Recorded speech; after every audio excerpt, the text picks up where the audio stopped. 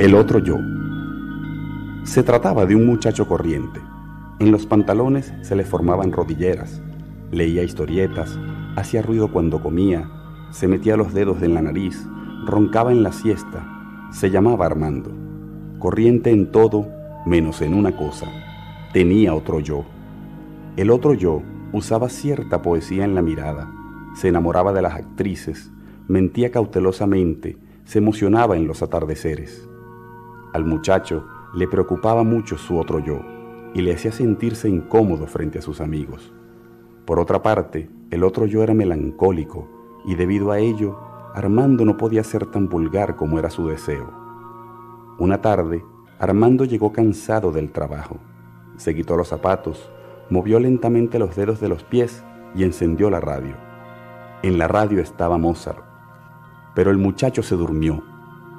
Cuando despertó, el otro yo lloraba con desconsuelo. En el primer momento, el muchacho no supo qué hacer, pero después se rehizo e insultó concienzudamente al otro yo. Este no dijo nada, pero a la mañana siguiente se había suicidado. Al principio, la muerte del otro yo fue un rudo golpe para el pobre Armando, pero enseguida pensó que ahora sí podría ser íntegramente vulgar. Ese pensamiento lo reconfortó. Solo llevaba cinco días de luto cuando salió a la calle con el propósito de lucir su nueva y completa vulgaridad.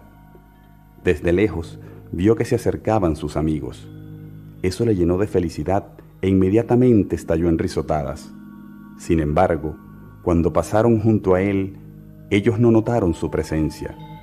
Para peor de males, el muchacho alcanzó a escuchar que comentaban, pobre Armando, y pensar que parecía tan fuerte, tan saludable.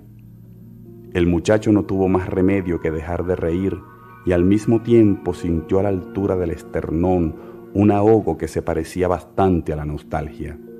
Pero no pudo sentir auténtica melancolía, porque toda la melancolía se la había llevado el otro yo.